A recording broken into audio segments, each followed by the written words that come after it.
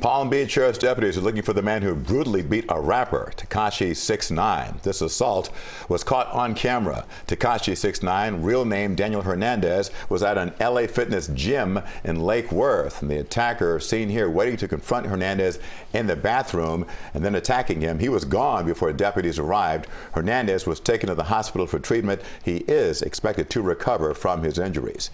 Meantime, in North Miami Beach, the city commission